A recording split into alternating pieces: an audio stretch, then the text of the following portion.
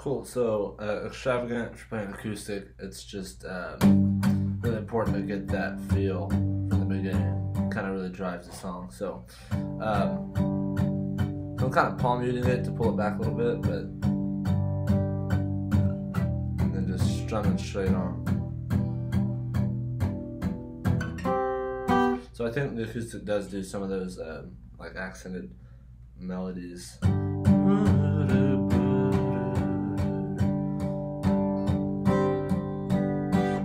Of do that. Uh, so that'd be C to B.